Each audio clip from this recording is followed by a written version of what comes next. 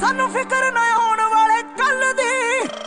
ਸਾਡੀ ਕੁੰਡਲੀ ਚ ਸ਼ਨੀਆਂ ਤਾਂ ਸ਼ਨੀ ਰਹਿਣ ਦੇ ਨਹੀਂ ਕੁਝ। ਬੰਦਿਆਂ ਦੀ ਬੇਇੱਜ਼ਤੀ ਮੈਂ ਤਾਣੀ ਨਹੀਂ ਕਰਦਾ ਨਹੀਂ ਗੱਲ ਬਣੀਆਂ ਬਣੀਆਂ ਸਾਲੀ ਬਣੀ ਰਹਿ ਜਵੇ